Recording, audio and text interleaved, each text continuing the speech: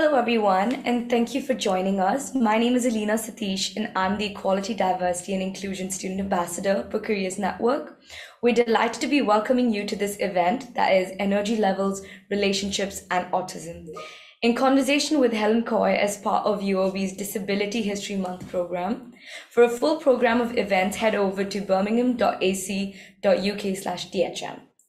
A little housekeeping before we get started. For those joining us online, live captions are available and this session is being recorded as well.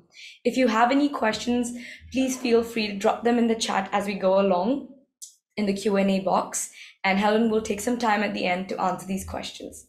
So let's get started. It's my absolute pleasure to welcome you and our speaker for today, Helen Coy. Thank you for joining us and would you like to introduce yourself? Oh, thank you so much. Yes, hi, hi everyone, um, and everyone here and at home. Uh, so yeah, my name's Helen, um, and I work at University of Birmingham Sport and Fitness.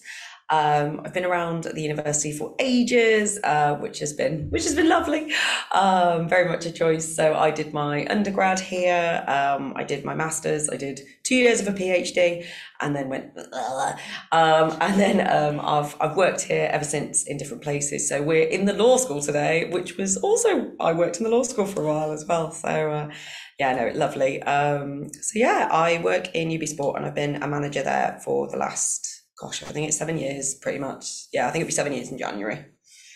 Okay.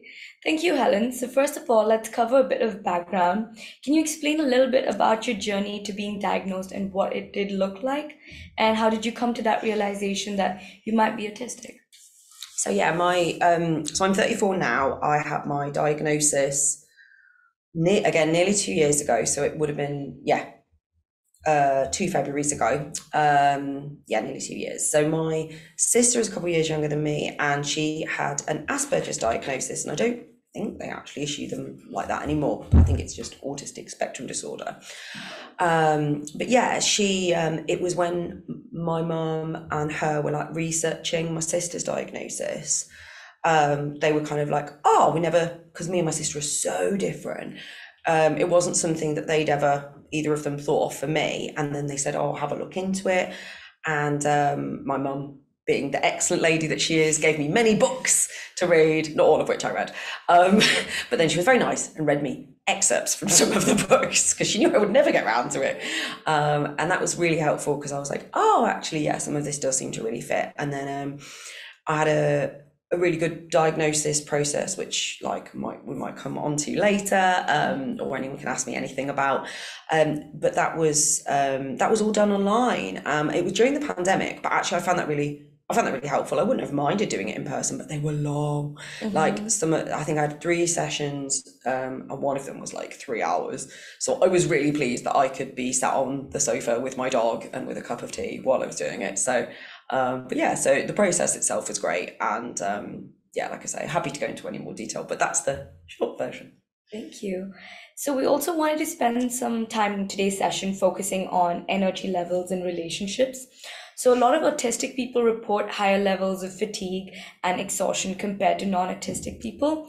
If you're familiar with the spoon theory, you're here to you hear a lot in the autistic community that they don't have um, the available spoons, meaning the energy levels, to undertake certain tasks, whether it is socializing or running an errand or whatever. They often find that they don't have the energy resource, resources available in them. So, why do you think that happens? Uh, yeah, brilliant example. Um, and I try not to get too carried away on, yeah. on this uh, on this topic. Um, one of my friends, Jess, who used to work for Autism West Midlands, she told me about the spoon story, like I think probably in like my mid 20s. So back before I even looked into a diagnosis myself. So I've used it, I probably was using it as like a mechanism either in my own brain or to signpost like to friends or at work, even before I had my diagnosis. And I think I was aware of it because I I've had I think I had my depression diagnosis in like probably around the time at the same time with the PhD. um, correlation, I don't know. Anyway, um, um, so I was aware of like kind of the things I was struggling like depression or anxiety wise first, and I kind of was aware that some days were worse than others. Um, I would notice uh, sort of the spoon thing, and then I'd say the biggest thing now, and I'll, I'll come back to you know why I think that is with um because um, obviously not every autistic person is the same, just in the same way that every other human being isn't the same as each other.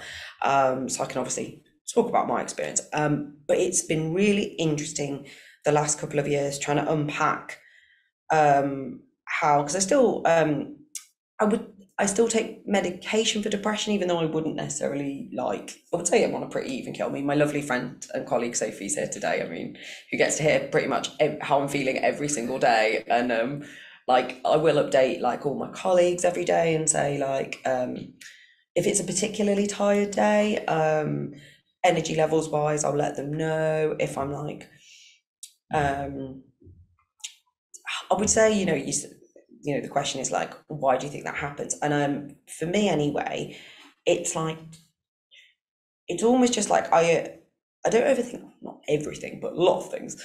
So even just silly things like um what i'm wearing in the morning and it's not like i'm oh my god i must look perfect. It's not that i'm weirdly ocd about um i have to have matching socks i have to have it's not even like I mind clashing colours, but in my head, the things that I'm wearing have to and they have to match my mood and and also I'm really messy, really messy. So like I often can't find things in my own house, which drives me mad. But then you go through the whole, oh, I'm annoyed at myself. Why is this taking me so long to even leave the house in the first place? Um, other people can leave faster than me. Grr. Then so I think the big thing with the autism diagnosis, it's made me less mad at myself. So that actually probably in a way gives me back some of my energy sometimes because I don't do as much introspection. Yeah. I kind of go, this is a thing I am not good at. And then I can just park it and go, you know, yeah. so that really helps. So um some days and it really is that some days are better than others. Some days I wake up and I genuinely am like, oh, I'm having a 12 spoon day out of 10, you know, say and then I I will say to my like lovely team and I'll go guys if you've got any complicated problems now's the time or if you've got any like um you know anything particularly peoply I'll try and you know uh do as many of those things when I've got the energy as I can. Um and then I think the final thing in answer to that sort of specific question why do you think that is? For me it's taken a long time to go what takes most of your energy. So even though I love people, I love them, I think I'm actually an extroverted introvert in and what I think like being basically being on my own is what gives me my energy back, or being with my dog or with my partner, like we're just and I'm not trying to work out what someone wants or needs. And like and I think because I care so much about getting it right, and I don't think I realized for a long time how hard I was working to understand all the interactions. So um, that's kind of the thing that one of the reasons for me, anyway, is like, I suppose, a bit of an emotional overload. Um, there's sensory stuff as well, but I'm sure we can come on to that. That's the main thing for me that probably is an energy drainer, if you like. Got it. Great. Thank you. And the audience online, please don't uh, forget to put any questions that you uh, would like um, to be answered on the Q&A box. And Helen, in terms of your experience, what were your key challenges when it came to energy levels? Maybe? Um, yeah, definitely. I think um, my manager job, I love it. One of the big things I find difficult is um, every uh, every Monday, for example, we've got like a heads of department meeting. Um, they're great colleagues. That's not the thing. It's but that I think the more people who are in a room, the longer where I'm trying to like navigate what they really mean as well. So I'm I'm relatively straightforward. Um, I'm obviously there's a certain amount of trying to make sure that I'm not like getting and saying stuff wrong. So I'm not saying I I'm not saying I don't filter anything. I do, but like I'm quite often going, I want to do as well as I can because I'm naturally a nerd. So you want to do as well as you can in all the situations. But then I'm also going, but is this going to tread on other people's toes? Maybe they need, I shouldn't speak first, they need more time. So it's, I say there's a lot of learned experience that goes into that. So challenges wise, um, making sure, and I'm sure, you know, we'll come on to like coping mechanisms and stuff, but Um, definitely a challenge is like making sure I don't have too many things either in my day or in my week. Uh, in my 20s, I was awful for stapling plans back to back to back. And uh, particularly because of the depression, I didn't want to be on my own because then I was stuck with my own thoughts. So I would say it was almost like then the depression probably exacerbated, like, you know, the autism sort of overdrive, any sort of burnout or melt meltdown sort of stuff because I wasn't giving myself the space I needed. So um, yeah, I'd say one of the biggest challenges, my own natural inclination to say yes to everything. Um, but that's definitely like I've got a much stronger control over that now. I, f- I feel anyway. Um, also, I just like being at home and going to bed really early, hanging out with my dog. So naturally, that helps. Yeah, I completely get that. and thank you for that. And a lot of autistic people describe the experience as burnout. Mm. So, do you have any strategies that you would say that you use or try to manage to avoid these burnouts? Yeah, so like I've kind of touched touched on a couple. I mean, my biggest one, like there's the self management, and I, I'll come back to that. But I'd say my biggest one that I use it I signpost hard to people, and that's it's the way I manage because I think uh, again lots of different types of the way autism manifests itself. I am quite over empathetic rather than under. So because of that, I like um I'm like all the time I'm trying to pick up on all the little signs where like um what could make someone be happier is like my my goal. Um so for me, I've like you taking all that information. Um so then particularly like for my team, if I'm having a low spoons day, it's really important that I tell them right, like I signpost and say, or like with my partner, like sometimes I'll get in the car at the end of the day and be like, I've genuinely said to her, Fiona, I can listen to the information. I am not capable of responding and sounding like I care, but I do care. Does that make sense? So it's like, I would love to listen to it. Yeah. And I, I think like it's really, I'm really lucky to have such great people in my life that can understand that. So mm-hmm. like, you know, say with like sometimes in the team, I can be like, give me stuff through message or through email, but I can't manage a conversation because I know even with like, even with colleagues, I know that I'll try and I'll still want to do all the levels of correct social interaction. I'll still want to mask and support them. So it's almost like I know it will drain me to do it. So I would say signposting right off the bat so that then anything then that comes into me is in a format that I can manage and won't take away too much more energy. Um, and yeah, like I said, um, noticing not putting in too much stuff before I reach burnout level. Uh, and that's, I mean, it's still a work in progress. I'm, I'm loads better, but I, it, it was like what would happen before is I would put in too much stuff, and it, when the burnout like happened, whatever a plan I'd got to, that would just have to go. There was no choice anymore. My body or my brain or whatever would choose for me. So now it's like I go, Helen, you will not. You feel great now. I'm useless at thinking I'll feel a different way. Like even though I know inexperience tells me. So I will go, Helen, you must. If you cut out this thing you like less, you will be able to do that thing that really means a lot. So again, not perfect, but No, I get it. Thank you. And uh, what does burnout look like for you? How does it impact you? And do you have like burnout recovery tips maybe? yeah, no, gr- again, great, and it's really helpful me like reminding myself of these things, especially coming up for Christmas. Um, so I get migraines uh, a lot, um, and uh, trying to work out, yeah, how to avoid them, uh, but also how to deal with them. So my migraines, because I get, so, I mean, so the purple glasses are linked to kind of, um, can be quite sensitive to light.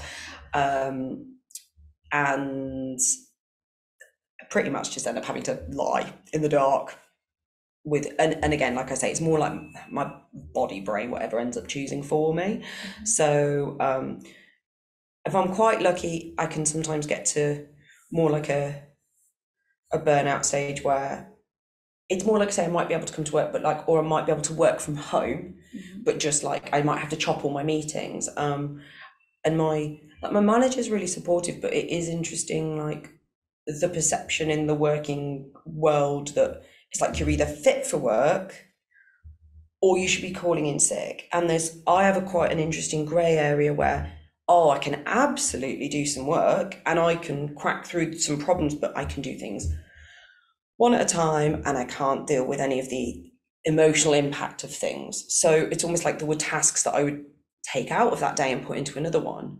But it doesn't mean I need a day off. Yeah. So um yeah, that's that's interesting. And that's probably like something that I still have further to go, but then maybe that's less me and that's more like it's a difficult thing I think for any institution or company to try and like how do you I mean, it's been interesting since COVID though, because lots more people have the flexibility to work from home. So that's a nice thing. Yeah, with the hybrid situation. Yeah. Um, and what advice would you give to someone to support um, to their autistic burnout, or whether it's a friend, a lecturer, a family member? It's really difficult because, yeah, I don't want to be preachy.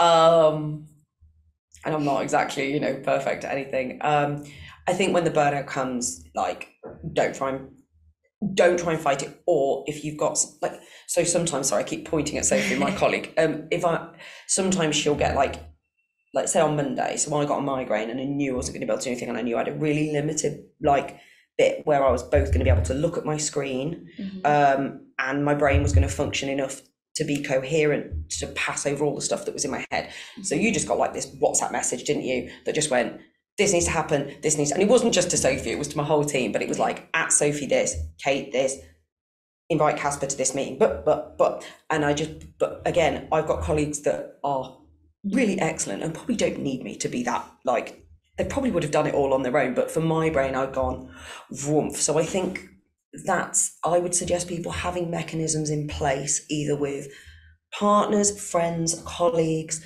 so that if a burnout does happen, it doesn't add to the burnout that you're then going, oh my God, I can't stop because all of this stuff is so important because, you know, conscientious, hardworking humans. You want to complete everything that you've said that you're going to. So having, I mean, people just knowing that I'm autistic, I find very helpful. I find telling people helpful.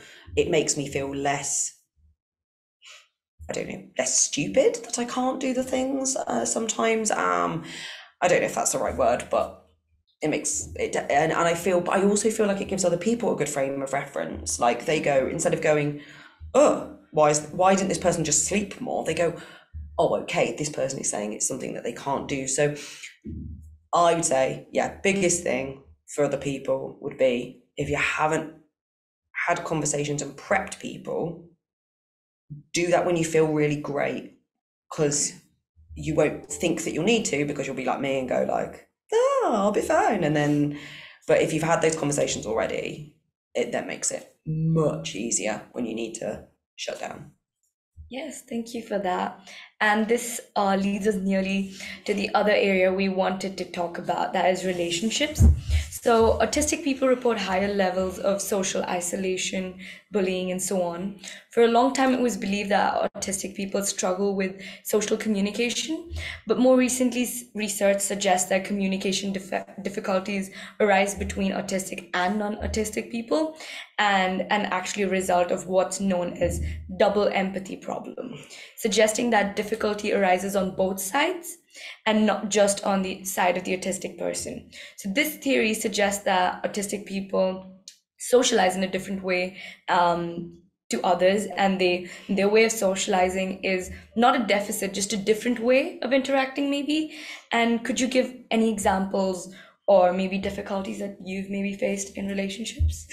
It's so great because even as you're saying it, I just thought of things I hadn't even thought of earlier. Like I do have excellent funny stories, so um, and some great examples. So I'll, st- I'll start off by saying I do have to tell people that I'm useless at banter. so like.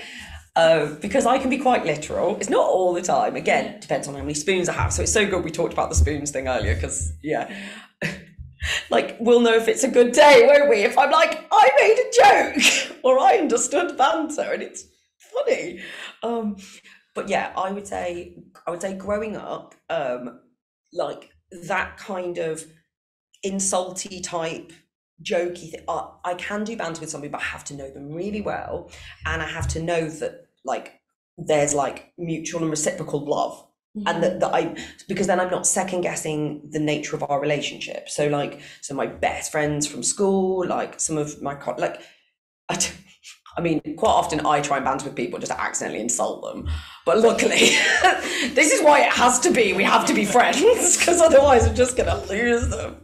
Um, oh no, there's, again, there's too many funny examples to come back to. I can tell you at the end if you want more funny examples of me misfiring hard. Um, but yeah, I would say most of the time then I find it, I spend too much time then going like, what do they really want or need from me? And then I've missed it. And so my, you know, you say can be, you know, autistic people can interact differently. Um, I, I'd, I'd say I'm a pretty good masker. Like I, you know, no one, but I didn't realize I was doing it. I just, I'm watching all the time to figure out the right way to interact with different groups, which is what all humans do anyway, you know, is change their interaction style depending on the group they're with. Um, I'd say I naturally suit uh, friendship styles where you do more like story exchange, funny story exchanges. Like one person talks, people laugh at the hilarious story, someone else sa- shares a, a similar Yeah. story. That's probably like where I fit best because Mhm. like I'm listening to one thing, I'm enjoying that thing, and then I understand whose turn it is to speak, and like, so it's almost like, I suppose that suits me. It's, it's not necessarily the same for everybody. Um, and I, you know, and I wanted to look at like relationships because there's obviously so many different kinds, whether they be like romantic or friendship. Um, uh, again, I've been really lucky. I have succeeded at having both relationships and friendships. I hope. I mean, Sophie might be here under duress, but um, but um, uh, I mean, again, I currently have a partner. Again, she hasn't left me yet, so um, I I I feel lucky with the people that I do have, and I, I overall my my story is a very lucky one. Um, I mean, I'm sure there was some stuff in school. I mean, I definitely got called weird a lot at school, but I think it was relatively affectionate. Like I, I was lucky. I was lucky. School wasn't my favourite, but for lots of reasons, didn't like uniform. I didn't understand a lot of the rules. I thought they were stupid.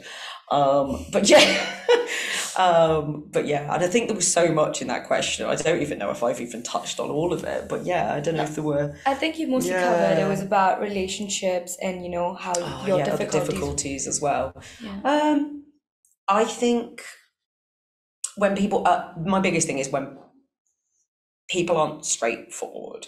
So, and I don't, that's not a criticism, it's the way people work. So I will illustrate it with a great story from our lovely friend Becky, who uh, in the office said something like, she wanted her her um, her boyfriend to. She'd said, "Oh no, I don't want this," or like she said, "No, no, don't get me, don't get me any biscuits." And he was supposed to know that that meant she did want biscuits. And I was like, but how? How? That's not how you've used your words. She was like, but he, but he should know. And I'm like, but how? so I would say in relationships, I need to be able to trust that what, and I've, uh, now that I know, again, know myself much better, I need to be able to trust that what someone says is what they mean. Yeah. So probably in the past I've struggled more where if people people say one thing and mean another, I know that happens, but I'm working so hard the rest of the time, you know, at work and in friendships to try and navigate that. The person who I hopefully live with, spend my like downtime with, if I'm also trying to second guess that, like we're just onto a non-starter, um, and my like lovely ex-girlfriend who's still my friend, like we laugh now looking at like how we ever even tried, but it would be a thing she'd do really nice things for me, but because she hadn't pointed out that she'd done a nice thing for me, just thought she was doing something that suited her, and then she felt not thanked. And I tell Fiona how great, like I've learned, I've learned experience. I tell Fiona that she's the best thing ever every single day, just in case she's not clear. So I don't want to make that mistake again. So I learn. But um, yeah, I think my biggest thing is like missing what would probably be obvious sometimes to other people as well. I need them to. I need them to. I need them to do a nice thing. I need them to tell me they've done a nice thing. Okay. I get that. and um, what kind of impact do you think um, these kind of experiences like have on you? That's a great question. Um, I mean, such a short question. Um, I suppose, I suppose in the same way that everyone learns through all the relationships they've ever had. Like again, whether they're romantic or otherwise, you learn something from everything, even the ones that are awful. Um, you know, and yeah, like I saw some of my best friends the other weekend, and you know, there was a long relationship that dragged on in my twenties. I couldn't really let go, but he couldn't really let go either. And I think, I, like, I would, I wouldn't change it because I just, I just learned a lot more about myself. So it's probably the same neurodivergent, neurotypical, everything that happens helps set you up for where you go going forward. So yeah, yeah, I'd I'd say impact wise, nothing. Impact wise, weirdly nothing but positive. That's I good. suppose. Yeah. And uh, what would you say to another autistic person who may be having difficulties in their social relationships? Um, I mean, I'm boring. I'm just going to say signpost again, as in like I'm repetitive. Um, clearly, I'm not boring. I'm great fun. Um, um, say say what you need, and don't be afraid to say what you need. And that's probably going back to the other question, like what impact has it had on you? Is probably I've learned what I do want as well. And I think that's the younger you are, that's the hardest thing to actually even know in the first place. If you don't know what you want or what you're looking for, either from another person or from a relationship, or you know, no one knows what they want from life. Don't worry about that. That's too big a question. Um, but like more like how, even how you want other people to interact with you. Like I quite ask, like to try and ask anyway. I'm not sure I succeed all the time, but I like to ask the people I manage and work with how they like to be interacted with or how they like to be managed. And quite a lot of people are kind of like, I don't know, uh, let's try something and we'll see. Because most people, but I've learned that because I need to tell people, it's only fair that I would also give that option to them. someone else. So um, I would say to other people, try and figure out what's most important to you, or even if it's not the other way around, even if you haven't figured out what you do want, figure out at least what you don't want, or figure out what stresses you out. Because then, if, at least if you can tell somebody, you're really great, but this thing that you, this pattern of communication, I find challenging. Could you, but always give them, um, always give them a way to change it. You don't just like say this would work um, this would work better and try and help them with that. And then also, then also, if they're like, nah, you're wrong, um, or I ain't going to do that, then you know that it's time for them to go. So that also is helpful. So Yeah. that there we go. See, look at me dispensing advice. So, what would you like a non-autistic people to be aware of if they don't um, inadvertently outgroup an autistic person? It's probably. I I was thinking about this one beforehand. I think it's just stuff that I would want of all people, regardless. It's um, people react very quickly to like information that they want to know, and probably because I'm over the I'm the over empathizing side. I do a what would I want to be asked? Would I want like sometimes you know so I, I injured my leg recently so I'm limping about uh, and had a crutches and a cast and everything and people fascinating taxi drivers who I love taking me home thank you would not get around without you but people just think they they just go oh how did you do it I'm like we've known each other for five seconds and I, think what I would probably just ask of all people is people don't give enough other people like I hate direct questions, so this is very personal, I suppose, really. But I always think conversation should be more malleable. So almost like for me, a way to include me is always to ask a question that's much more open. Like Mm. that person can take it any way that they want. If I'm tired, I prefer to people to just either talk about themselves or talk about something else. Or about my dog. Always want to talk about George. Um, so it, it is an interesting one. Repeat to me one more time in case I have anything else useful to say. Um, Hopefully. yeah, so just give me a I know, I'm so sorry, jumping no, back because it was a completely great point. It was uh, what would you like non-autistic people to Mm. be aware of so they don't inadvertently outgroup an autistic person? Everyone's different, I guess. Don't make assumptions, and yeah, I'd stick with being open. Mhm. Yeah, I would. I I can't think of a situation that wouldn't work, and I always think with questions like this, I always try and think about like my sister, who, like I say, is autistic in a very different way to me, and what would make what would put her at ease, make her comfortable, um, and anyone else I've ever met. You can only give it a bash, and if you do it with kindness and don't be offended if someone like doesn't take it the right way, as long as you're you've taken a second to think about it and gone, would I actually enjoy being asked this particular specific question in front of a group of others? And if you wouldn't, think of a different way to put it. Yeah, that makes sense. Thank you.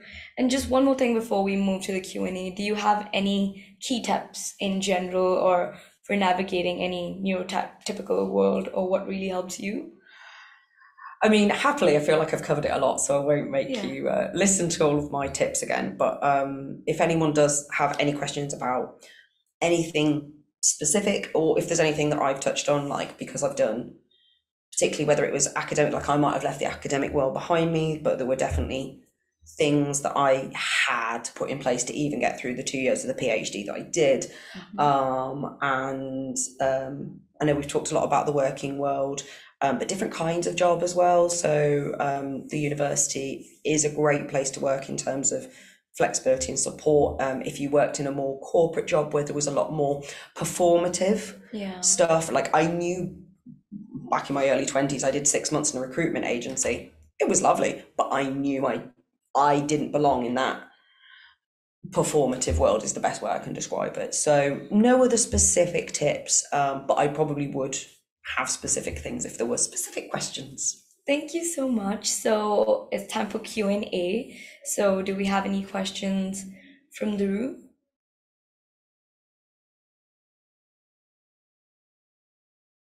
Yeah, it's really interesting. I am lucky. Um, I probably because I tell them and then I uh, very, I probably very quickly also assert myself, and I I, I am assertive, probably for you know.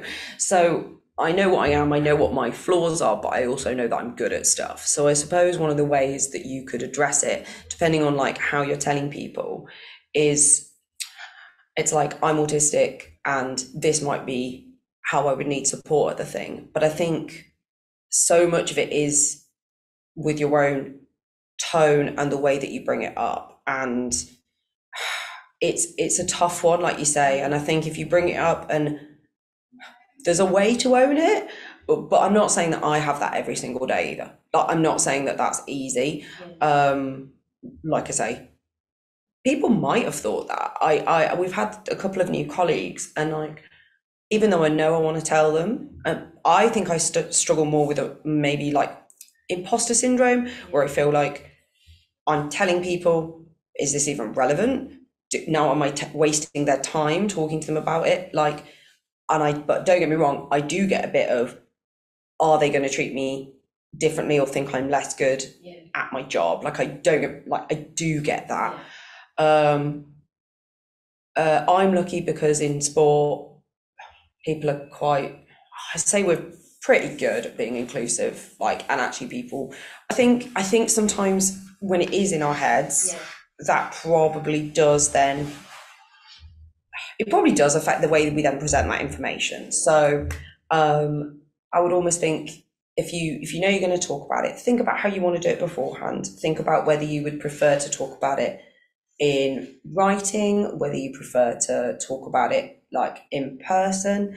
Um, like so, like this talk. So I did a similar talk last year, and I clearly was feeling very like, yeah, I'm ready to like, and I am always ready to share. But like for some reason this year, I've known about this for like months. Me and Pete said we were going to organise this, and it was only like in the office there, I was like, I will just tell people that this is happening, and it's approximately two hours away. And um, yeah, go on. I was going to say that you initially shared yours quite casually at the end of an email, didn't you, to everyone? Um, Yes. And that was, about a year or a year and a half after we started. Yeah. It's such a casual way of doing it, and you think you got quite a lot of nice feedback from people within sport generally. Um, Yeah, no, that is really helpful because I've, I've, yeah, forgotten whether or not I shared with a group of people. So yeah, I, I must have told everyone initially in our department, and then because I must, yeah, I must have done some sort of. It's my introduction email. Is that what it was? On the bottom, yeah. Just made it all about me, Sophie. Sorry. Sorry. Um, I know that's, but that's really interesting. So then it's like each new person that comes, I'll then either, yeah, tell them about it. And it's, it's not like it doesn't weigh on my mind about how to bring it up though, or like, and I do again, I ju- I'm always judging it by each, but uh, yeah, I do all, I would say, sorry if you think people are then a bit, I, I, I like to smash people by being really, really excellent and well performing. I think that's probably the best way of doing it. Yeah, I'm like, this is the thing that here's some stuff that I'm not good at as a result, but here are all the things that I am great. So then by being super competent, they'll just have nowhere to go because you're excellent. What do you think needs to happen in a higher education environment to better support um, staff or students who may be autistic? That's a great question. I, I suppose actually, if we hadn't had the chat, I would probably be like, oh, but we kind of touched on it. I think there's something around the understanding of you might be well enough to do lots of your job, but you might have days where you can't do it all. And um, I mean, I know sick leave is like a really difficult thing anyway. And for a while, I sat on um, there's a there's a wellbeing advisory group, um, and a, it it was an offshoot of basically the like health and safety group. And every meeting, we would talk through like the sickness statistics, and there was a whole big long going project um, uh, with Philip Gray uh, looking at like basically work related stress and obviously the impact it was having on staff and going off on long term sick. So it was all kind of related. I mean, we were just looking at it from the stats perspective, um, and other people were like on the actual like working, trying to how do we address this? And I do think if things weren't as aggressively black and white, you're either sick or you're in. Again, we touched on the fact that there's hybrid working, but like us in sport, we don't really have we deliver we you know we deliver physical programs. So we it would be very hard for us to have a day.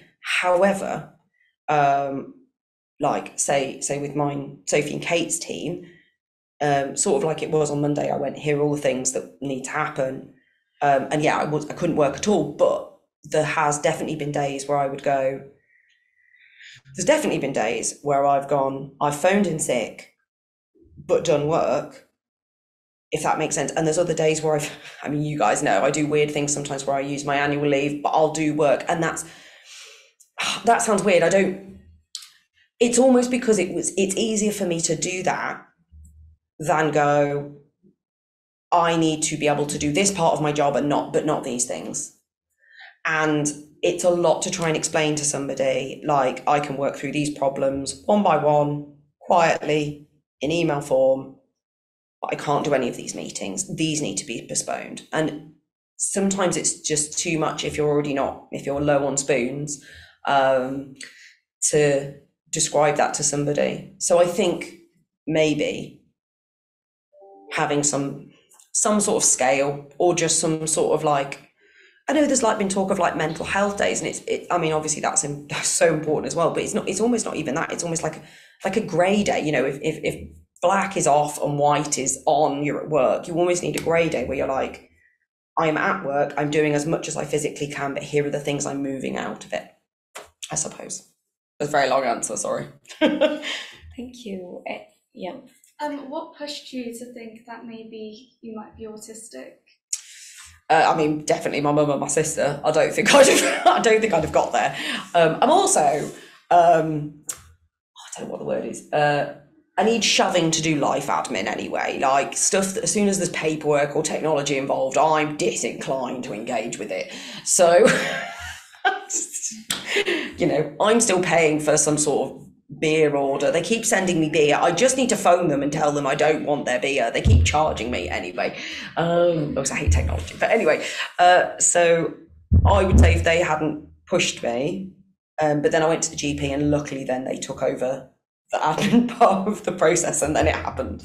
I mean, there was definitely a bit where I'd received a letter and I hadn't looked at it and I probably nearly missed my first appointment, that kind of stuff. But um, yeah, they were the ones that, um, and, and I would say um, I was very on board very quickly because I was like, oh, good, an explanation as to why I'm ti like the tight, you know, we go back to the energy levels, why I get so tired. So I think I was just relieved that there might be an explanation um, for why I couldn't do some stuff. So I was pretty, pretty pleased. Yeah.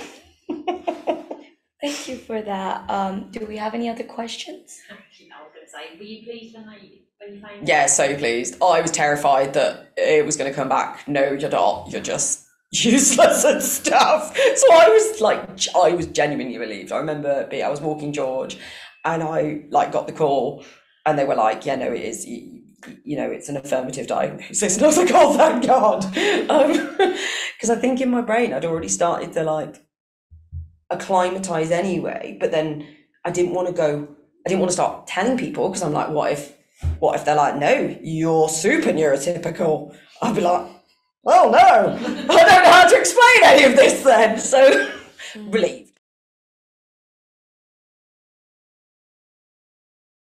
That yes, that yes. Um, so that I, I will tell the story just because it is sort of directly relevant. So I, um, probably like lots of us in this room, are um, a perfectionist, and um, the thing I and I, you know, classic autism thing is you get very into a certain thing and they just love that. So I was very into uh, Les Mills, who are a exercise provider, and I'm a fitness instructor alongside my normal job.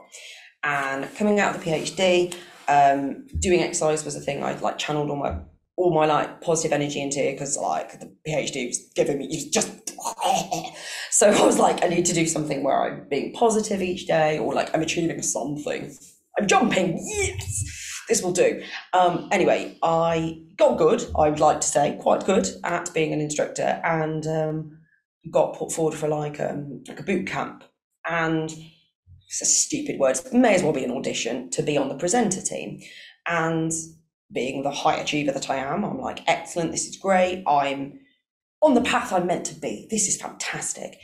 And it was basically my personality that stopped me from being on the team. And they basically said as much. And some of the feedback was like, Helen, you don't have to be so nice to, or you don't have to be as nice to everybody, or you don't have to try so hard to get people to like you. They'll like you anyway. And um, even though I'm really glad I didn't get on the team for many, like genuinely for many reasons, like um, I wouldn't have been able to fit in all the stuff. We come back to all the autism stuff that I know about myself now. There's no way I would have been able to do everything. So something would have had to go, or I'd have had some sort of meltdown. Um, lots of lots of good reasons to not do it. But I still haven't, and I was thinking this literally last night. I have still not gotten over the fact that someone rejected me because my personality wasn't right for a thing. And that is probably my main thing where I wish I could go back in time and know everything about myself now. Because I think I think I just completely failed to do any of my masking because I was so in love with this thing. And I thought I was in a room of people who also loved this thing. So I didn't think I had to pretend to be cool. I thought we all loved it. So I didn't think I had to pretend. I I didn't realize I was auditioning to also be like some sort of Instagram poster girl for their company. I thought I jumped high enough and I I didn't look terrible in their fancy Reebok clothes. What more did they want from me? Um, apparently, they also wanted me to be aloof and cool, um, which, let's be honest, is not something I'm ever going to manage. So, again, this is fine. But yes, I do I have regrets of like, you know, I look back and I go, I knowing what I do now, I could go back in time. I'd love to go back in time, smash it, and be like, don't want your job anyway. Boom! Um, which is literally what I do. But I, I'm like, why do I care about that validation? Why do I care about that still? Why does that matter? Because they don't, they don't matter to me anymore. I know, yeah. So, not again. I don't know if that's any comfort at all. But yeah, there's not. Even though I had a smoother ride, it's not like there's not things where I wish, you know. Thank you for that. Um, are we having any questions online? We Um, we good? do have one really good question, Mm. which is, what is your favourite thing about being autistic? Ah, that's nice. Uh, um, I mean, we've touched on it a fair bit, and like you, you said as well, this is like the best bit about the now as well. It's like uh, just not needing to be uh, annoyed at myself or stressed at myself. Like I'm not saying I don't still get like Helen. How have you dropped another cup of tea on yourself? Um, or like, why have you overfilled it again? Why can't you see that that is too close? That I don't know, but I think I find more things. Uh, yeah, I don't beat myself up over it, so I I would genuinely say that's my favorite thing. Okay, great. Thank you. Um, are we good? Great. So, well, that's all for today. Thanks to everyone for joining us. Um, as mentioned, a recording of this session will be available afterwards and hopefully in the next week or so. And thanks especially to Helen for such a great time um, to come and share her experience. I think everyone included in this room, I learned something today as well Aw. and um, gave me a new perspective. So, thank you. Thank you so much for hosting. You brilliant. Thank you. Thank you, Thank everyone. Ah,